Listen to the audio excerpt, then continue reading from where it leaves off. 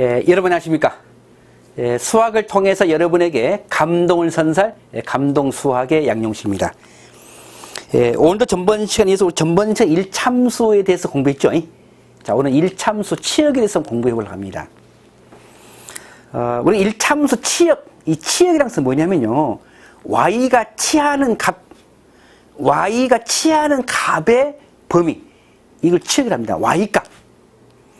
에, 여기서 우리가 주의할 점이 뭐냐면은 y가 치할 수 있는 범위는 우리 공역이 갑니다. 그리고 x가 치할 수 있는 범위는 우리가 정의라고 해요. 그러면 이제 y값이 되는 것, y값이 되는 것들을 원소론 집합이 치역입니다.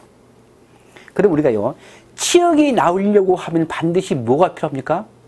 그렇죠. 정의역입니다. 정의역. 치역. 자,